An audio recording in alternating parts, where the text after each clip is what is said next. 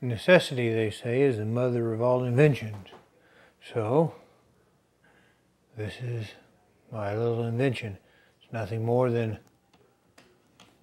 two dimmers with on and off light switches controlling two outlets to control two par light stands so that when I shoot video you don't have to put up with a, with a shadowed out face so that I can go ahead and increase or decrease as needed for the particular setup and given the amount of light coming in the old kitchen window.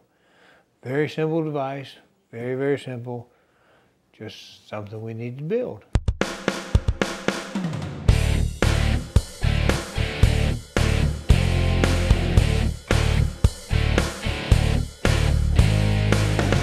Basic plan is to take a power cord in. This is an old one that I use the two ends for other projects, so I just put a replacement end in, strip one end off, and I bought a cord strain relief. Now these things come in different sizes. This particular one is made, of course, for this size of cable. And since they come in different size cable, if you don't want to take the uh, roll in, you can always clip a piece off and take that with you, and then that way you're able to get the proper size. This size is 187 to 312, and that way it's guaranteed to fit uh, the size of cable that I have. And it just slides over. There's a little rubber grommet. Come back here. And then it squeezes down like a little, like a little uh, collet on there. And drill a hole in my little plastic box. I've already cut out a slot for the receptacle, put a cover on it. What we're going to do then is we're going to run one receptacle off of one dimmer, run the other receptacle off the other dimmer, and that way I can, can control the two light stands off of the one box.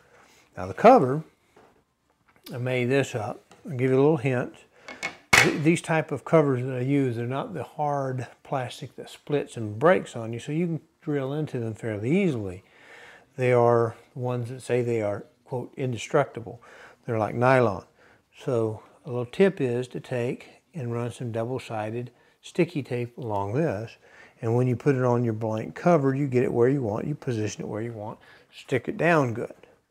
And then that way, when you make your measurements for your pieces and you scribe into your cover like this, you can have it in place, make your little baby holes to do your alignment for your pieces. When you measure, now these are just little pulls, cabinet pulls.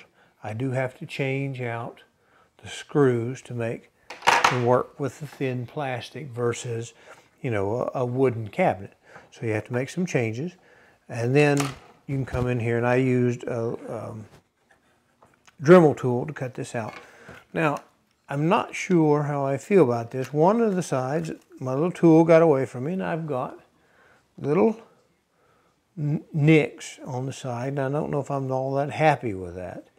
But the con general concept is, is that the dimmers will fit in here like this. One dimmer will run one receptacle. And so therefore one dimmer, one light pole. I use these particular ones because I can get them set so that I don't cause a washout. Uh, and then I can turn them off and on in between takes to kind of let them cool down or whatever, save a little electricity, whatever I might need. The dimmers do have these ears down the side and they work as heat sinks. And one issue that you do have is that when you put the two together, and I'll do it like this so you can see, you can't put two gangs together like this. They don't fit. And so you'll end up having to break off a pair on the side. And that's going to cause this dimmer to be derated. It's not going to be able to handle the wattage that it's supposed to be able to handle when you end up taking off the aluminum, these two, two of the little ears, and I'll take off on this one, these two ears, and it will only derate the one dimmer because then the next one will fit right up next to it, and his three ears will give it more heat sinking. He'll have three ears on that side, and so I'll only derate the one dimmer a little bit. And this takes us down to 100 watts of CFL or uh, appropriate percentage in incandescent. So they'll sit like this. We'll have the have the protectors on the edge, and I think that, um, well, for what it's worth, I think I'll go ahead and, and trim out this. I can either have like this, a little lower protection, or to put them on top, I'm going to have to go out and do a little dremeling and widen this because the body is wider than the face. And so I think I need to go out to the shop and do that. I'll be back in a little bit. Well, let's put this together. Went ahead and cut this out to allow front mounting the dimmers. These tabs are needed for heat, but you can't put two of them together in a double gang configuration without cutting them off or bending them down. I bent them down. This is uh, grounded, so they're electrically the same. So I'm put them in there. This should allow me to put my little top on like that. And I should have my little cover screws, which should go in here. And I don't think I'll put all, all four of them on camera, but you'll get the idea. They'll go like this. And the protectors, which are just cabinet handles. My cats decide not to play. They go in like that. In like this. And I won't screw them all together for saving of time, but I'll get on the back side. Come on. Flip it over.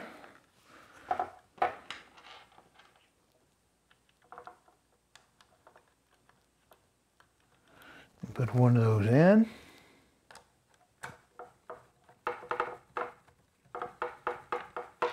I can get it started. There we go.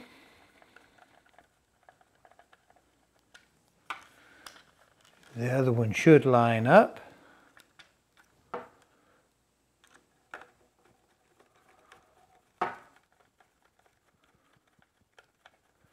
Through the advent of advanced mathematics. Actually, I did all this using that double-sided sticky tape I told you about and a set of calipers and a drill. Now, we have the cover made. We have our protectors in Everything is fastened down. We have our two dimmers in place, on off with the presets. And they'll go in like this. We're just about ready to put the cable in. It goes with the little, the little grommet washer and the little ferrule.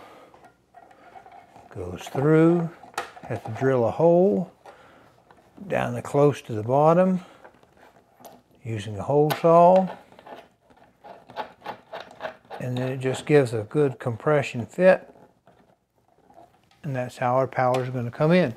We'll gather all of our grounds. It's a plastic box, so there's no need to, to uh, really try to do anything with that. It's not metal, so we don't ground the outside. Now, on the receptacle, you have a long side, which is neutral, and a short side, which is hot, and a little round side, which is ground. If you look carefully, you'll probably have on your device some kind of white screws. It's not coincidence. They make that for the white wire. The brass looking screws are for the black looking wire. Green is for ground. But all this can be bonded together. The neutrals can be bonded together. We're going to take power in to our dimmer device. Out of our dimmer device will come to our receptacle. But we want these to be independent circuits, and they're not going to be independent circuits. Let me take this up. You see this little bar right here? This is a bar we need to break off. If I get my little screwdriver in there, we're going to lift it up, and we have to break this thing off and cut this. Work it, work it back and forth until we break this because this is what isolates these two circuits. We can't have this little bar in there because if we do, we end up having a bridge in the circuit and we can't have that because then both dimmers will blow each other up because they need to be isolated. And we need to have two separate circuits. Now, let me get a little closer. See how they're broken off? Now we have two separate circuits. And you see this a lot in a house, like where you might have a permanently hot circuit here, and then you might wire another one to a switch. Say this may be your black and white pair, and this may be your red and white pair, and this red and white pair goes to a switch for, say, a lamp. So that the upper one is for a lamp, so that you plug in floor lamps or whatever you might have, so you flip a switch and your lamps come on, and the bottom ones are hot all the time. That's the option that you might have, you know, your home builder give you. So we're going to be able to put this back, back in our hole, and this will go back in our side. We're going to wire it up in a minute, but we'll use the appropriate connections here. Back side, because this dimmer is suitable for a three-way connection, we're going to have our green for ground, that we will collect all of our grounds together. And the red and white stripe, that's as if we had a three-way switch, you know, an extra switch in the hall somewhere, which we don't. We leave those, what they often call them, dead-headed. And using the wiring diagram, I believe that we take red down to our device and black, which I will confirm looking at the wiring diagram, goes to our black here. So we should Take a wire nut these together. These will go to our receptacle. This greens gather the greens and the white goes to the receptacle. And that's all there is really going to be to the wiring of this device. Now, we're just about ready to wire it. What we did where you were going, we pulled the receptacle out and we went ahead and took our wires and we, we did what we call tinning them. We, we soldered the ends of stranded wire, so we just wicked a little solder in there. There's different ways you can connect. These things are, these happen to be fork connectors. These have a little retentions in. They're spring type. These are non-retaining. They're just straight. They're color coded according to gauge of wire. You can use those. You crimp them on. Uh, I'm just going to use wire nuts provided with the kit and put them in. Grounds often have a special connector. This is for doing receptacles. And what you would do is you take your your TLs or your Kleins, whatever you want to call these things these days. And uh, what we do is we gather our, our grounds together and put them up here, you know, bundle them. And then we take our Kleins or TL, alignment plier, first get a good mechanical connection and that's where the uh, the uh, tinning helps makes them feel like they're uh, solid wires and now we can put our whoops I was going to use that fancy green one and if we were doing copper wires on a receptacle in a house, we would take one long strand here and we would have it protruding out through here. And this is what we'd use to make up to the actual device. Nice and tight. Now, our power feeds, we're going to take together. I have two black wires. These are actually going to connect to my dimmers. And these we do exactly the same way.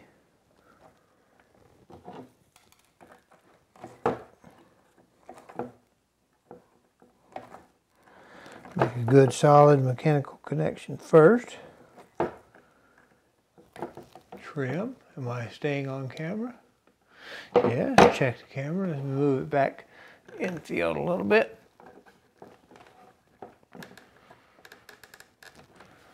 Connect those. Take my neutrals to neutral. Take those.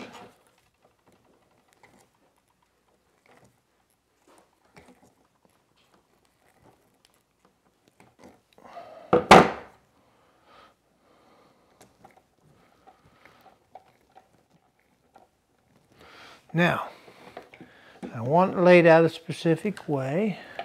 Switches at the bottom. So I want this dimmer controlling this receptacle so that it will control a, that particular light stand when I plug it in.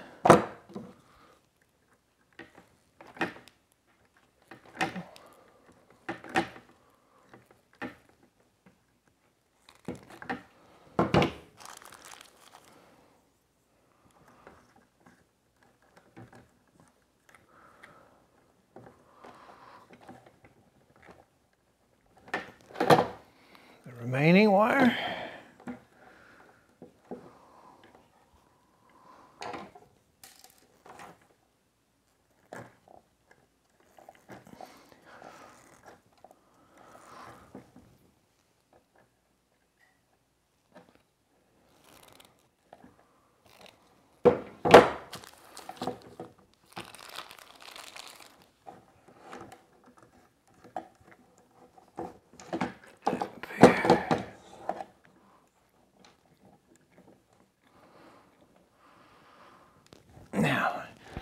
Pull back on my wires to check the connections.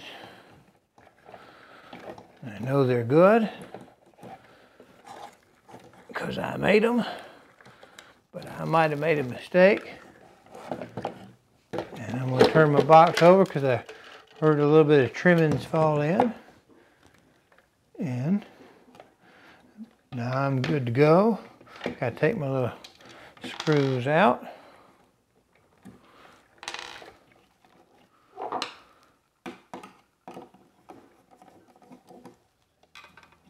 this.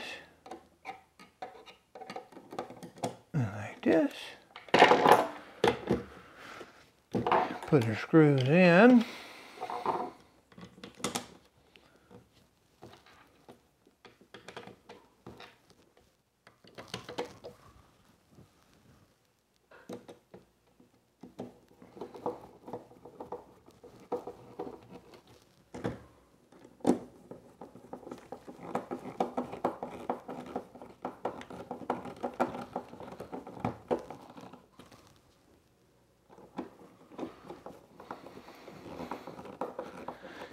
And what we have is a very simple